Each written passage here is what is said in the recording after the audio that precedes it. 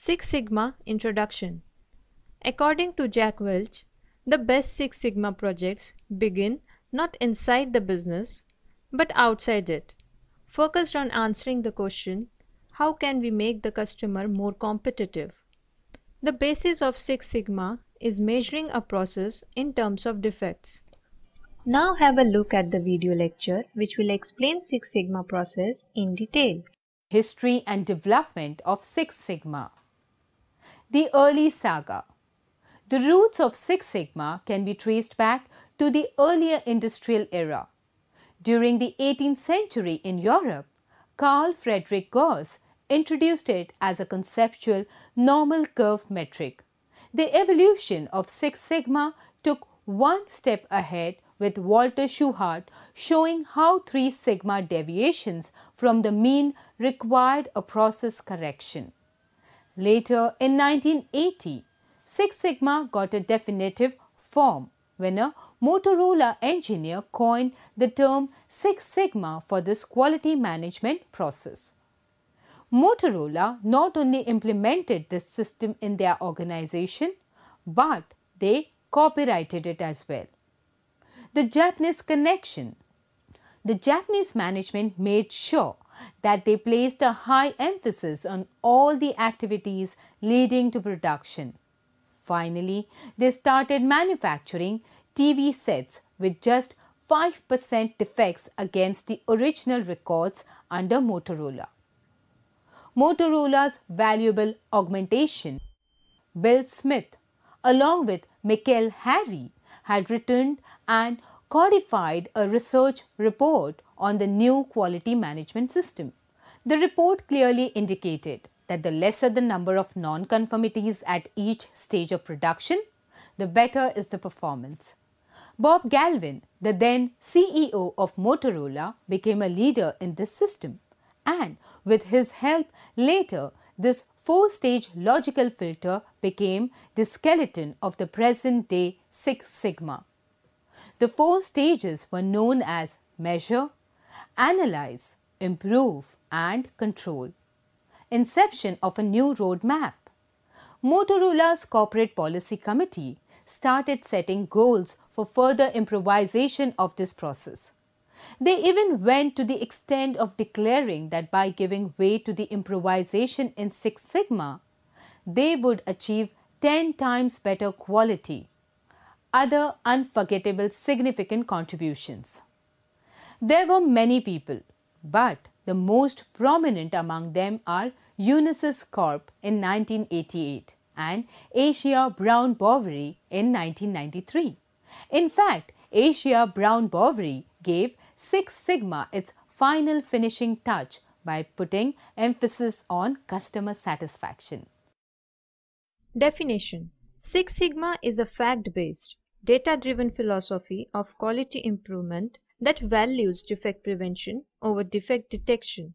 In simple words, Six Sigma quality performance means no more than 3.4 defects per million opportunities. Let's understand the definition of Six Sigma with the help of an example. Top senior doctors of a city and two Six Sigma experts are discussing on issue that how delay and cancellation of surgeries can be avoided. The agenda of today's meeting is how to improve patient throughput in OT as the number of delayed and cancelled surgeries is increasing. Can you suggest some measures? We can address this issue using the Six Sigma approach. It is clear from the data that majority of the cancelled surgeries were cancelled within 48 hours of the scheduled time. This makes it difficult to schedule other surgeries in the available time. Using Six Sigma, we can define the causes for delays and cancellations so that throughput through operating room can be improved. The hospital has collected cancellation data for years and is now finally able to use it for improved scheduling and improved throughput through operating room. So this is how Six Sigma works in the healthcare industry. Six Sigma's heroic goal Six Sigma's goal is the near elimination of defects from any process, product or service, far beyond where virtually all companies are currently operating. The numerical goal is 3.4 defects per million opportunities, DPMO, while higher levels of defects are associated with lower sigma levels. Manager and Six Sigma expert are discussing problems related to form filling at the time of admission. We are facing issues with admission forms. The current admission form contains several fields of information that can be missing or incorrect due to which the quality of hospital services is degrading. Okay, so you mean a given form can have more than one defect. Absolutely right. This means that a sample of 10 forms may show more than 10 defects. Yes, right. So, to get closer to zero defects, we need to check progress performance and for this, we need to measure defects in the form. For this, we have to calculate defects per million opportunities. But what is that and how it is going to resolve the issue? Defects per million opportunities is the ratio of the number of defects in 1 million opportunities when an item can contain more than one defect. Okay, so we are going to calculate defects of this form. See, suppose a form contains 15 fields of information. If 10 forms are sampled and 26 defects are found in the sample, then DPMO is Alright, thanks a lot. You start working on it along with my team. This value allows you to determine how effective your process is. It also allows for a comparison between processes. Application in healthcare. Errors and variability can undermine the delivery of safe, effective patient care. Six Sigma seems to be an approach that is well suited to addressing disparities and helping to create a good healthcare system, since it is designed to reduce variation and defects within a process including the many processes surrounding patient care. Need of Six Sigma Six Sigma helps to identify and eliminate defects in a process. Six Sigma focus on outputs that are critical to customers. Let's watch the video lecture which will give you more information about the need of Six Sigma. Need of Six Sigma To attain Six Sigma level, a healthcare organization has to understand data collection, techniques of data analysis, fundamental concepts of statistical variation and control and knowledge of design of experiments. It also has to follow a customer oriented view all the time. The organization must also know how to achieve a balance between quality cost and benefits that are arising out of the quality initiatives. Changing human behavior. Physicians are often receptive to the idea of Six Sigma because it is an evidence based scientific approach to problem solving. But it is important to keep in mind that while statistical tools will be very effective in identifying root causes of variation, they only address half the equation.